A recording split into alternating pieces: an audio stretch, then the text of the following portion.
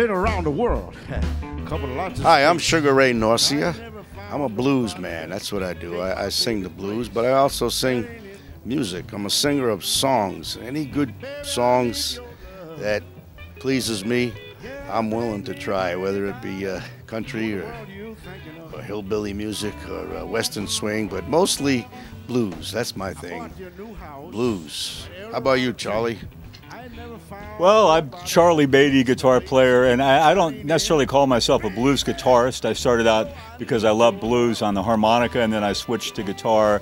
And then over the years, like Sugar, I, I developed interest in all these different kinds of music, including jazz, swing, uh, Brazilian music, uh, gypsy jazz, and I just try to take that sense of melody and, then, you know, uh, intermix it with a the bluesy uh, the bluesy sense that I've gotten from listening to the blues all the years, and I love playing with Sugar because we play music that just jumps over boundaries, but it all makes sense because it's just natural. It's what we do. We don't really think of uh, blues uh, music having labels as much as it's either good music or it's bad music.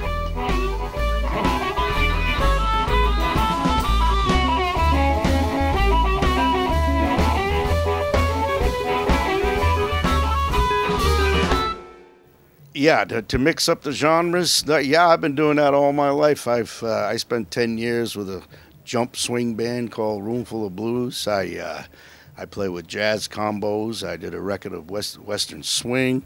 When I'm home and and, and uh, sitting on the couch or in my living room, I listen to uh, Bach and Brahms. I mean, you know, just it's music is a wonderful thing that makes the world go round, and uh, and I like I like to, to, to listen to different kinds, and I love to sing and play different genres. It makes me happy.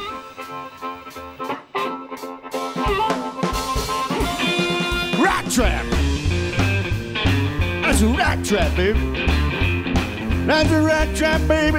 Ain't gonna around here. We did a record uh, that's coming out next year, produced by Duke Robillard on the Severn label. It's going to be a nice combination.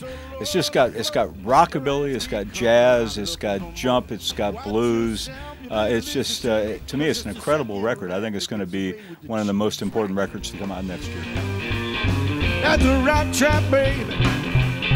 That's a rat trap, baby. It ain't gonna wake around here.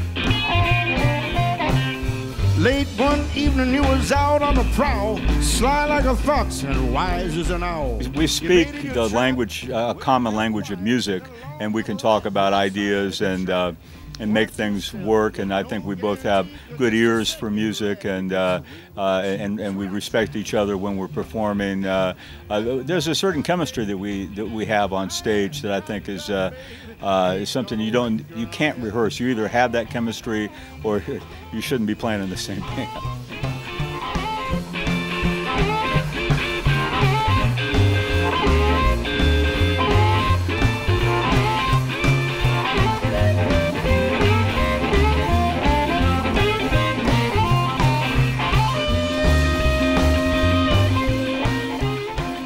Uh, you know, uh, smile, because uh, you heard the way we closed our show. Maybe you could uh, follow up by following this uh, question with, with us playing the song, a show tune uh, called "When You're Smiling," and I explained to the crowd, there's, there's too much, there's too much war and upheaval in this world, and not enough getting along with each other and smiling. And when I say that, I look in the audience and I see it actually people smile it's amazing, and they'll look at each other and go, "Yeah, he's right." So let's keep let's keep that message going continuously. It'll be a better world.